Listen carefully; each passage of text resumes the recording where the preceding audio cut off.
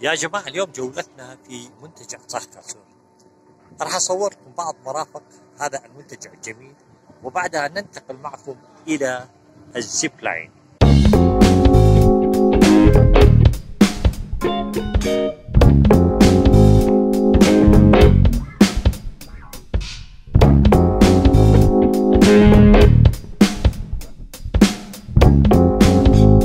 كنت أول مرة تزور هذا القناة أدعوك للاشتراك فيه لأنه سيزودك بكل المعلومات التي تحتاجها فيما لو قررت زيارة جمهورية أرمينيا.